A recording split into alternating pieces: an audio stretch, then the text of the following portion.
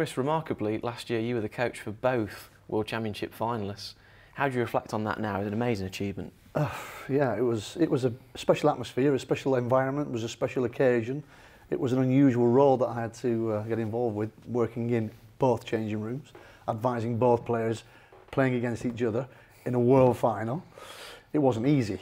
Um, it was fantastic at the same time, but it was a challenge. Um, and ultimately, I have to be very pleased and happy with that result. But it was disappointing for one player. That's the nightmare with snooker. There's always a loser. Um, but Mark happened to win the final again, four times a champion, and it was a wonderful experience. And as a coach, you have so much technical understanding of the game, but also psychological understanding. We're here at the qualifiers speaking to you now. How do you use that knowledge to help the players who you're coaching? Yeah. When you look at performance and how we perform at things, how we feel and how our emotional states are plays a huge role in that. And when you've got these qualifiers for the World Championship, the points, the money, uh, the rankings, all these things play into this sort of um, mix, if you like. And it's having a big influence on how people you know, deal with these situations. So basically my job is to help them feel relaxed and calm, which is not easy. So we have some routines for that. But to, I think, to really focus on the few two or three things you can control that help you to perform at your best. Mm. And my job is to keep reminding these guys, don't get carried away, don't be thinking future, don't be thinking about consequences, don't be thinking about what ifs. Let's come back to now. Concentration is all about thinking about this moment, what are we doing in this second, and what can we do in this second that helps us to perform at our best. So we've just spoken to James, and he, he, he's, one, he's one of your players, James Cahill. So you're, you're essentially unifying his thoughts going yes. into that match. Yeah. And when you mentioned thoughts, you know, we look at trying to get results, and results come from how you perform, and how you perform is mostly about how you feel, but it's your thoughts that are creating all these things. Mm.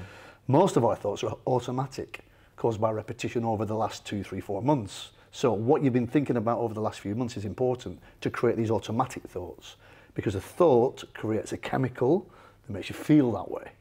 So if most thoughts are automatic, let's get them on automatic positive and automatic focus kind thoughts that help us to perform. So we've been back working for about three months, four months now, James, James and I.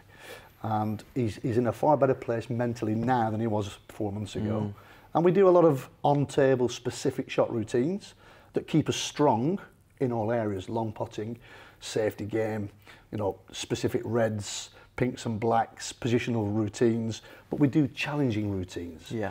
You might have heard of a, a guy called Dave Alred, for example, and he worked with uh, Molinari, Francesco mm. Molinari, a few years ago, and, and Francesco had his best season ever. One of the things they were doing was, in practice, they were trying to recreate match situations. Because if you can do that with your brain, it deals with that situation better when it actually starts to happen, happen in right. real. So they're the kinds of things that we work on. So, so the, the common thing that we see with all the players is, is fear in this environment here. So you're trying to move their mind away from that fear. What, what is it about that environment out there that creates fear in a player? Because it's exactly the same as every other environment they play in. Yeah, fear. Physically. Is, well, yeah, it absolutely Physically. is. Yeah, it is. Fear, F-E-A-R, false evidence appearing real. Now, is it something to be afraid of? Not really. Mm. But if you put so much emphasis and importance on winning and losing, which you can't control, yeah. and that's the problem, you're trying to control something you can't control, then you create fear and that dreaded word anxiety. And when you start to get this anxious feeling, it really has a negative influence on your performance. So fear, you go and watch a horror movie, it's a white plastic screen, it's not real, but why after 10 minutes are you hiding behind your seat because your brain's reacting to that like it's real and you experience it that way. So the subconscious part of our brain is dealing with things as fact all the time, even though it's not real. It's a bit similar to a, you know, a nightmare. You've gone to bed nice and relaxed, you've woken up at three o'clock in the morning, and now you're sweating and you're afraid because your brain's just had a nightmare. It's not real, but it's creating this fear that it is real. And this can do the same to you. So you've got to be very good at dealing with that, understanding that it's normal. You know, it's not something that's unusual. When our brain sees something it doesn't recognize, adrenaline starts to fuel and fire. But adrenaline can be used in the right way as well. So these are the things we, we look at. I think we need an hour with you, to be honest. Thank you for your insight. Pleasure.